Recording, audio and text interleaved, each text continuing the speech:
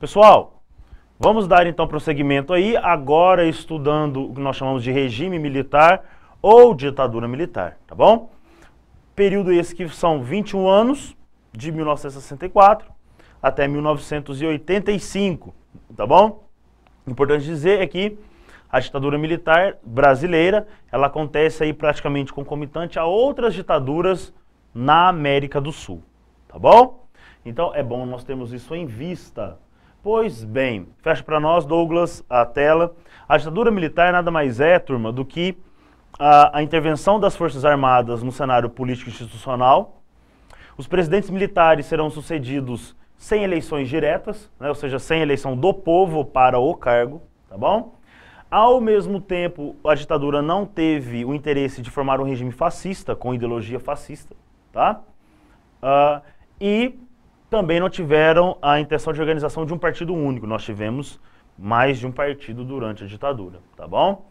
Ao mesmo tempo, quem manda no país agora é uma alta cúpula militar, os órgãos de informação como o SNI, os órgãos de repressão como DOPS, do ICOD, como nós vamos falar depois, e uma burocracia técnica do Estado, tá bom?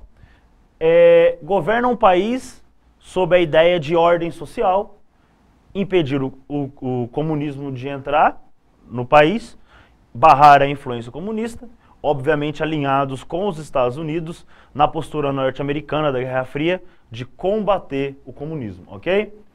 Tanto é que a lei, a lei imposta por Jango, que é a de, dos lucros extraordinários, né, a lei de remessa de lucros, ela é suspensa imediatamente.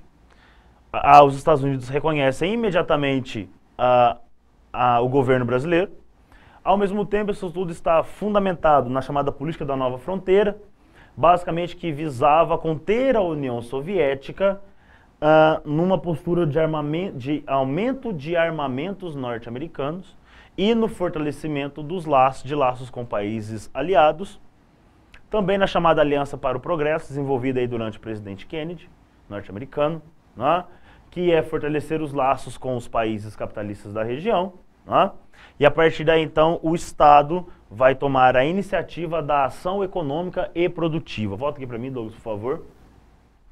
Nós temos como principais características da ditadura militar o ato institucional. Esse ato institucional, ele tinha por função ir modificando a ditadura, tor, uh, desculpa, a Constituição de 46, torcendo a Constituição de 46 a favor do Estado, tá? Do Estado militar. Então, a Constituição vai sendo alterada até o momento onde nós temos a Constituição 67 e uma modificação a esta Constituição no ano de 69, tá bom? Então, aqui nós temos, antes do Castelo Branco assumir, que é o primeiro militar que assume a presidência da República, nós temos o ato institucional, ou também conhecido como ato institucional número 1, ou AI1. Fecha a tela para nós, Douglas, por favor. Tem quais medidas? O AI1 aqui dá ao executivo, isso é, ou seja, a ditadura ela concentra o poder na mão do executivo por seis meses. Poderes para caçar mandatos de parlamentares, suspender direitos políticos de quaisquer cidadãos, há uma perseguição à UNE aos sindicatos chamados de subversivos. Agora as eleições são indiretas para o pleito de presidente da República, tá? E ele pode decretar estado de sítio sem aprovação do Congresso. Muitas dessas medidas, gente, são feitas somente com a autorização do Congresso. Então nós temos aqui o fortalecimento do poder executivo, tá bom? Castelo Branco era um militar da linha da Sorbonne, uma linha mais branda, tá? Uma linha de militares que tinham como uma das suas ideias devolver o mais rápido possível o direito aos, aos civis, tá bom? Muito bem, a partir daí o Castelo Branco, nosso primeiro presidente, vai institucionalizar o aparelho repressivo através da utilização da Lei de Segurança Nacional, da doutrina de segurança nacional, essa implementada pelos Estados Unidos e utilizada no Brasil, inclusive na criação do Serviço Nacional de Informações, o SNI, tá bom? Que era o órgão de vigia do governo, não é? Para saber o que estava acontecendo, quem são as pessoas de risco ao regime. Ao mesmo tempo, é criado o Plano de Ação Econômica do Governo, o famoso PAEG. Tem quais funções? Reduzir o déficit do setor público, contrair crédito privado e comprimir os salários. Tá?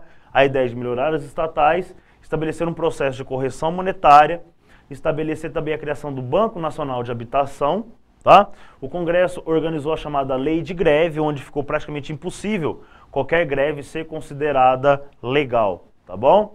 Além disso, é criada a estabilidade, é destituída a estabilidade do emprego, aonde com Vargas nós tínhamos uma estabilidade de, uma vez que você trabalhou 10 anos no mesmo emprego, você estava mantido nesse, nesse emprego, o governo acabou com isso e criou o FGTS como garantia para esse trabalhador. Então nós temos o fim dessa estabilidade e a criação do Estatuto da Terra aí, uma tentativa de modernização é, é, da questão agrária no Brasil, de uma reforma agrária, tá bom?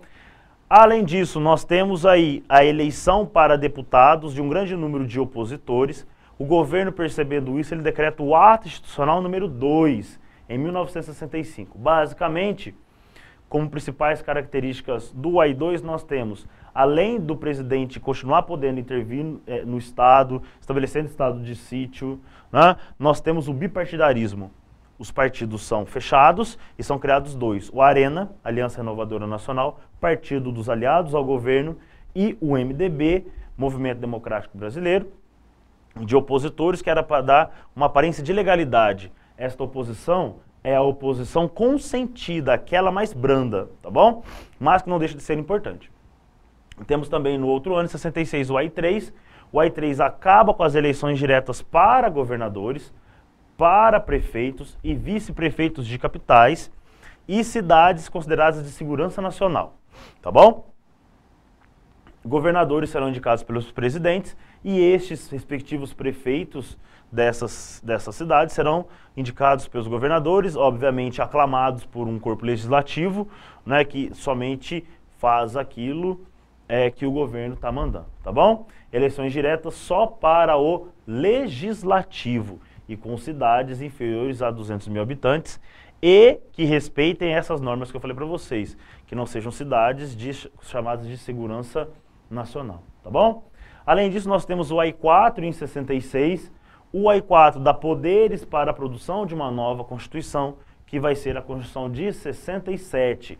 Quais são os objetivos dela? Fortalecer o, o poder executivo, no caso o presidente, diminuir a importância do poder legislativo e judiciário, mantendo a federação, tá bom? Além disso, a partir de agora é ratificada na Constituição que as eleições para presidente se dão através de um colégio eleitoral, tá? Um corpo, vamos chamar assim, de delegados que escolhem o presidente. O judiciário sofre, sofre mudanças também, né? onde as, as próprias garantias dos magistrados estão suspensas, tá bom? Mandato de quatro anos para presidente e vice.